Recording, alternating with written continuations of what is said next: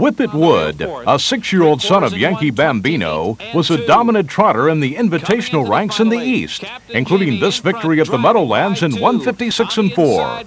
He later won the $100,000 American Invitational Trotting Championship at Roosevelt and was the season's leader over a half-mile track. Whip It Wood down on the rail with the lead, and it is Whip It Wood a length and a half.